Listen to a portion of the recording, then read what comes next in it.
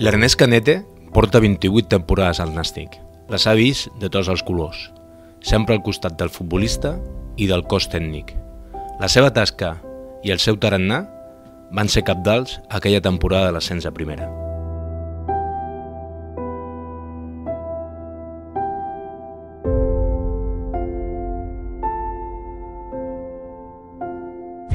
Lo important de qualsevol temporada és començar una dinàmica positiva, però en moments determinats pots pensar, i jo crec que la clau d'aquella temporada va ser el que no se li qüestionessi o que ell no tinguessi la sensació que estava qüestionat.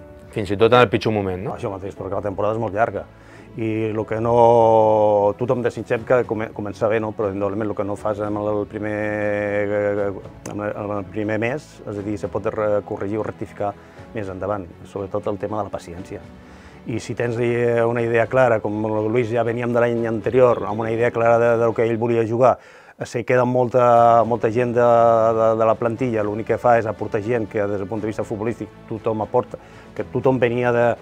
Isma venia de jugar de categories superiors, és a dir, tothom venia uh, de, categories, de jugar de categories superiors, el que t'està donant a entendre que se millora el nivell de la plantilla. Jo penso que tocar uh, la figura de, del director d'orquestra, que en aquest cas és Luis, era, era molt arriscat.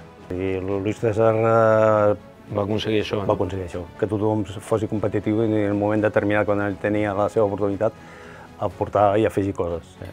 El més positiu de tot allò és que tothom se va poder sentir partícip de, de tot el que vam viure, no? És a dir, I tothom, I tothom se va aprofitar del resultat. És a dir, perquè no és el mateix que tu marxes al Nàstic ah. dient que vens d'un equip de la meitat de la taula de segona A que un equip que acaba de pujar. El jugador marxa i potser, evidentment, queda com un mal record, però tot el que... Això mateix. El moment de que jo començo a donar-me compte del que hem assolit a Jerez és quan me comença a sonar el mòbil vale? i són exjugadors del Nàstic que te comencen a trucar i comencen a enviar missatges. Exjugadors, i no te parlo d'un any o dos abans, sinó d'anys enrere, que és a dir, que t'envien el missatge de m'alegro por ti, que llevas ahí tanto tiempo, és a dir, comentaris d'aquests de gent que també se sent partícipe, a passar de molts anys, partícipe de l'èxit del que ha sigut el seu club. Això és el que me va fer, eh, amb el període aquell de, de, de celebració, donar-me compte del que havíem aconseguit perquè en aquell moment estàs el que parlàvem, la, la situació de la voràgine, de l'èxit, vale? però és a dir, el que te fa eh, entendre la magnitud del, del, del, del que vam aconseguir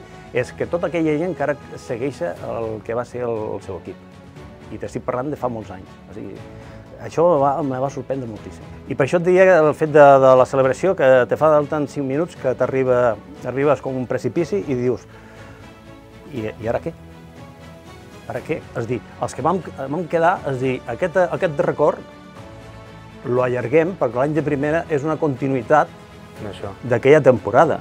És a dir, llavors tu tens un record més ampli, val? perquè va quedar bastanta gent d'aquell ascens, però indudablement és a dir, eh, el, el tema de la celebració és el que tu dius, és a dir, és molt, molt íntim, que sigui un moment compartit, però és un molt, molt moment íntim, fins i tot ja te parlen ni de la família, sí que estàs amb ells, però és un moment que dius, jo he patit, vosaltres heu patit les, les ausències, però a partir d'aquí què? Què passarà?